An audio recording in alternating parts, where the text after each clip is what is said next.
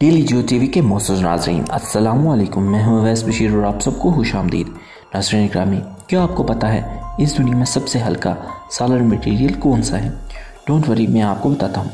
वो है एरोजेल जो कि 99.8 परसेंट ए से बना होता है। ये सुनकर आप लोग हैरान रह गए ना? अब आप लोग इसको देख के सोच रहे होंगे कि शायद ये हीट से मेल्ट हो जाएगा, ये जल जाएगा या हीट को ट्रांसफ़र करने लग जाएगा। तो यहाँ आप बहुत गलत हैं। दरअसल, एरोजेल एक बहुत ही अच्छा हीट इंसुलेटर है।